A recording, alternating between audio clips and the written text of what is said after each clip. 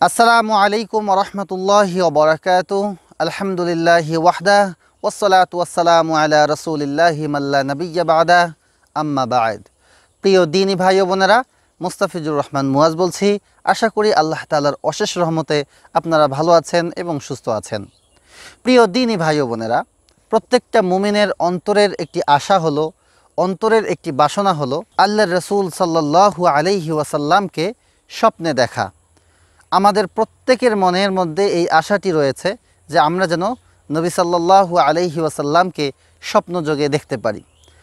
আর যদি স্বপ্নের মধ্যে নবীজির সঙ্গে সাক্ষাৎ হয়ে যায়, দেখা হয়ে যায়, তাহলে আমাদের উপর জান্নাত ওয়াজিব হয়ে যাবে। প্রিয় বন্ধুগণ, রসুল সাল্লাহু আলাইহি ওয়াসাল্লামকে দেখার জন্য অনেকেই অনেক ধরনের আমল করে থাকেন বা হুজুরদের কাছে বিভিন্ন প্রশ্ন করে থাকেন। আমার কাছে অনেকেই প্রশ্ন করেছেন যে, হুজুর, কোন আমল করলে নবীজিকে দেখা যাবে? তো প্রিয় বন্ধুগণ, এই প্রেক্ষাপটে ছোট্ট একটা গল্প আপনাদেরকে বলতে চাই। একজন লোক, একজন শায়েখকে জিজ্ঞেস করল যে, শায়েখ, আমি কোন আমল করলে নবীজিকে দেখতে পারব স্বপ্নের মধ্যে? তো সেই শায়েখ লোকটিকে বললেন যে, তুমি আজকে রাত্রে আমার কাছে থেকে যাও। তো শায়েখের কথা মতো সেই লোকটি রাত্রেবেলা শায়েখের কাছে থেকে গেলেন এবং শায়েখ ইচ্ছাকৃতভাবেই রাতে সেই মেহমানকে যে খাবার পরিবেশন করলেন, সেই খাবারের মধ্যে অতিরিক্ত লবণ দিয়ে দিলেন।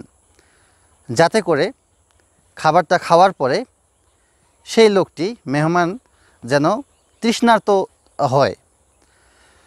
তো পরিকল্পনা মাফিক তিনি লবণ বেশি করে দিলেন এবং সেই ঘরের মধ্যে এক্সট্রা কোনো পানি রাখলেন না। রাতে যদি তৃষ্ণা লেগে যায়, সেই লোকটি যেন পানি খাইতে পারে, এরকম এক্সট্রা কোনো পানি রাখলেন না।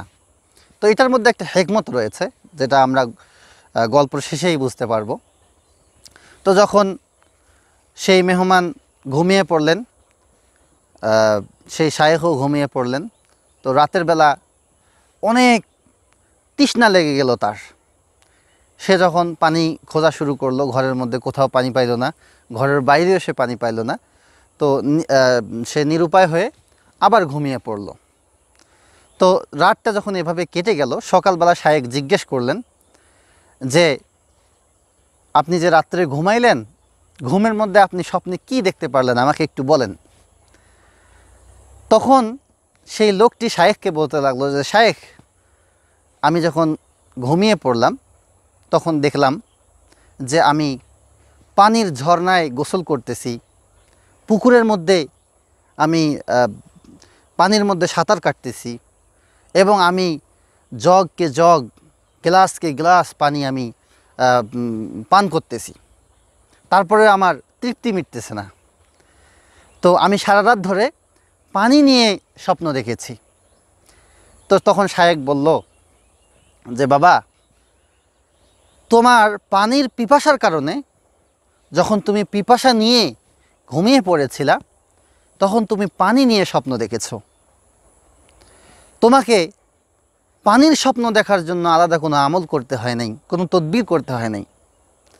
তো তুমি যদি স্বপ্নের মধ্যে নবীজি সাল্লাল্লাহু আলহি আসাল্লামকে দেখতে চাও, তাহলে তোমাকে নবীকে দেখার যে একটা তৃষ্ণা এটা তোমার অন্তরের মধ্যে থাকতে হবে। এবং নবীজির মহাব্বত তোমার অন্তরের ভিতরে রিয়েল মহাব্বত থাকতে হবে। নবীজির সুন্নতের ওপর বেশি বেশি আমল করতে হবে। নবীজির উপরে বেশি বেশি দরুদ পাঠ করতে হবে। ইসলামের উপর থাকতে হবে, ইমানের উপর থাকতে হবে। ইসলামকে শেখার আগ্রহ তোমার অন্তরের ভিতরে থাকতে হবে। ইসলামকে শেখা আরম্ভ করতে হবে এবং তোমাকে দিনের পথে তোমার জীবনটাকে অতিবাহিত যখন তুমি করবা, তখন নবীজিকে তোমার দেখার যে আশা, যে আকাঙ্ক্ষা, এটা আল্লাহ তালা পূরণ করে দিবেন। স্বপ্নে আল্লাহ চাহে তো আল্লাহ নবীজি সাল্লাল্লাহু আলাইহি আসাল্লামের সঙ্গে তোমার সাক্ষাৎ হয়ে যাবে। তো প্রিয় বন্ধুগণ, এই ঘটনা থেকে আমরা এটাই বুঝতে পারলাম যে আসলেই যদি আমরা নবীজিকে দেখতে চাই, তাহলে আলাদা টুটাফাটা কোনো আমল করে আমাদের কোনো লাভ নেই। আমরা নবীজিকে মহাব্বত করব, ভালোবাসবো, নবীজির সুন্নতগুলির আমল করব এবং আমরা নিয়মিতভাবে আল্লাহ রসুল সাল্লাহ আলহি ওসাল্লামের ওপর বেশি বেশি দরুদ প্রেরণ করব এবং আল্লাহ তালার কাছে দোয়া করব।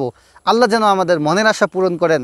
প্রিয় নবী হজরতে মোহাম্মদুর রসুল্লাহ সাল্লাহ আলাইহি ওসাল্লামের সেই চাঁদ মুখখানা, মোবারক মুখখানা যেন আমরা দেখতে পারি আর রসুলের সঙ্গে যেন আমাদের সাক্ষাৎ হয়ে যায়। আল্লাহ পাক রব্বুল আলমিন আপনাকে, আমাকে, আমাদের সকলকে বেশি বেশি সুন্নতের উপর চলার তৌফিক দান করুন এবং প্রিয় নবীকে স্বপ্নযোগে দেখার তৌফিক দান করুন। اللهم آمين. وآخر دعوانا أن الحمد لله رب العالمين. والسلام عليكم ورحمة الله وبركاته.